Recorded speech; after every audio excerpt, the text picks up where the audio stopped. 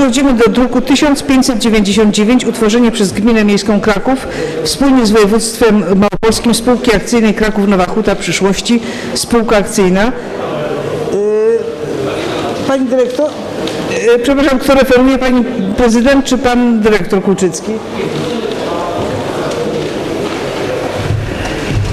Nie wpłynęły poprawki ani autopoprawki do projektu. Nie, nie słyszę. Nie wpłynęły poprawki ani autopoprawki do projektu. Dobrze, Szanowni Państwo, dziękuję bardzo. Głosowanie w bloku głosowań.